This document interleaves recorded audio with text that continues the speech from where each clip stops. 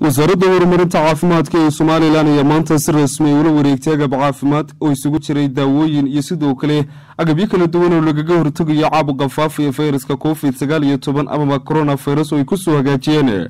jaaliyadda wadanka china ee ku dhaqan somalilan munaasabad kooban oo agabkaasi lagula kala wareegaya waxaa ka soo qayb galay wasiirka wasaaradda arrimaha dibadda iyo iskaashiga caalamiga. Wasiirka wasaaradda horumarinta caafimaadka iyo sidoo kale agaasimaha guud ee wasaaraddaasi xildhibaano ka tirsan aqalka golaha goortada iyo mas'uuliyiin ka socday. Laamaha dowladda kala duwan ee somalilan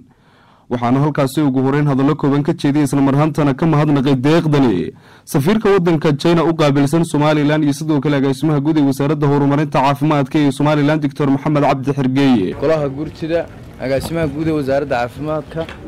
saxaafadda marsheefta ka soo qayb gashay munaasabaddan dhammaantiin salaamu calaykum waraxmatullaahi wabarakaatu munaasabaddan maanta waa munaasabad aanu kula wareegayno agab caafimaad oo inaga soo gaadhay dalka shiinaha oo ay wakiil ka yihiin jaaliyadda shiinaha ee ku dhaqan somalilan waxaynu wada ogsoonnahay halista cudurkan iyo siday lagama maarmaan u tahay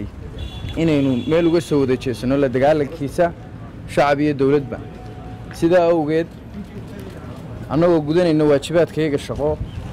waxaannu samaynay xidhiidho badan oonu ku codsanayno agabka lagaga hortago xanuunkan kanaynu maanta joognaana waa mid ka mida uun. Codsiyadii aannu gudbinnay alxamdulilaah waxaa xusid mudan luqaddiisa wadaybi oo somalilan janfu ha somalilan remin ganshe jongo remin ganjongo eh, bismillaahi raxmaan raxiim ilaahay ayaa mahad leh eh, maanta waxaynu halkan u joognaa eh, in wasaaradda horumarinta caafimaadku ay la wareegto qalab ama agab agabyada ka hortagga xanuunka koofidhka ah oo runtii ka yimid dowladda jaynaha iyada oo ay aada uga soo shaqeeyeen wasaaradda arrimaha dibadda iyo xafiiskeenna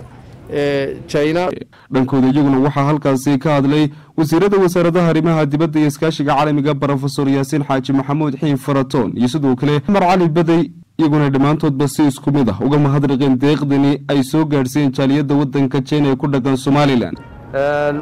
wasiirka agaasimaha guud iyo dhammaan madaxda wasaaradda caafimaadka ee halka joogta madaxda kale ee golayaasha ka socota ee halka joogta shaqaalaha wasaaradda caafimaadka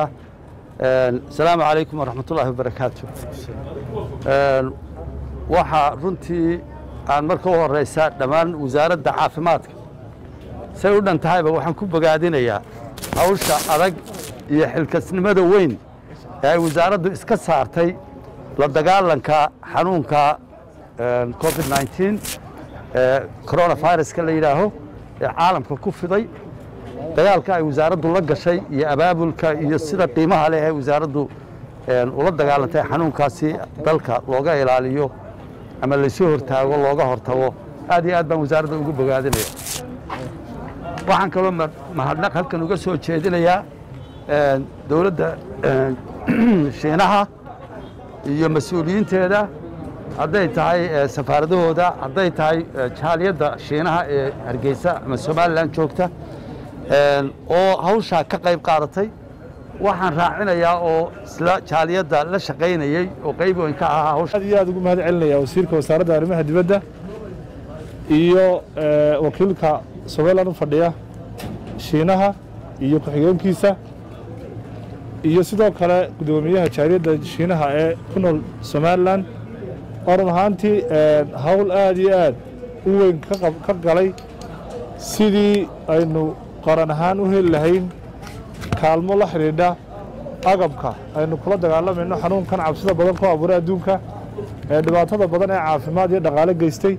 Waxaan leenahay dhammaantiinba aad baad mahadsantihiin somaali cabdi axmed karile kalson t v hargeysa